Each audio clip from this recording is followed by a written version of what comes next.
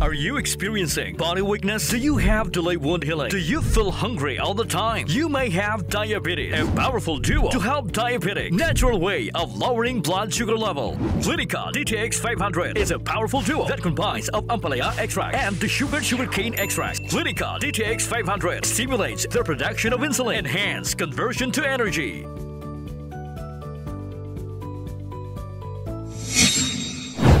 Patay ang duha ka minor de edad nga sakay sa motorsiklo matapos mag-overtake sa isa ka series bus kag makabunggo sa isa ka Nissan nga salakyan sa sitio Kalubihan, Barangay Siralio, Anilaw, Iloilo.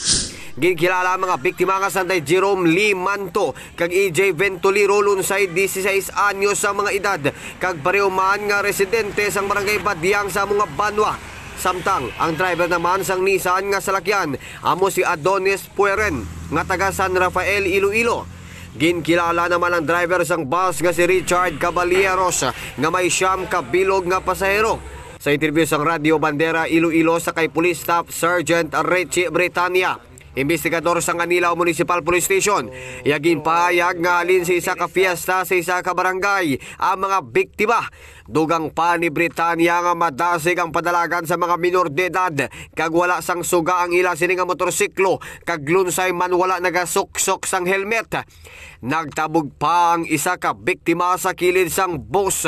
Dead on the spot si Manto Samtang, gindala pa si Ventoliro sa ospital apang ginbawian man inisang kabuhi. Sa subong, yara pa sa kustudiya sang Anilao Municipal Police Station ang mga driver sang Nissan kag sang bus para sa nagakaigo nga disposisyon. Nag-overtaking motor nga motor uh, motor star 125 nga ginadrive ni Jerome Limanto sa isa ka series bus uh, going sa northern Iloilo sir. Uh, upon pag ilabot nila sa may blind corp sa Sitio Kalubihan Barangay Siralyo uh, may nag-approach nga isa ka uh, Nissan nga Navara nga Frontier nga amo ang ginbungguan nila una. Kag after sang pagbunggo nila sa Nissan Frontier nag-bounce back sila sa may series bus nga nagapadulong. Kag dito nga nagikalatumba sila sa may Ini si kabandera nga Robert Gakit Jr. Nagabandera sing matuod-tuod nga serbisyo publiko kag kalingawan sa Iloilo. Radio Bandera!